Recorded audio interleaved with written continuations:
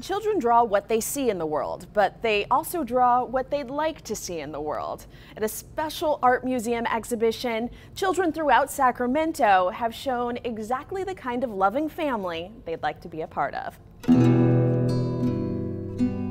This emotional exhibit at the Crocker Museum is the result of a partnership with Better Life Children's Services, a Sacramento adoption and foster care agency. You know, the theme of the exhibit is what a happy family means, you know, through the eyes of a child.